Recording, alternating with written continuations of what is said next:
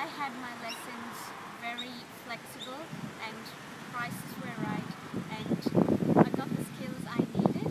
I've got my license in my first attempt and I would really suggest you go with Origin and ask for Ellie. That's the best way to go.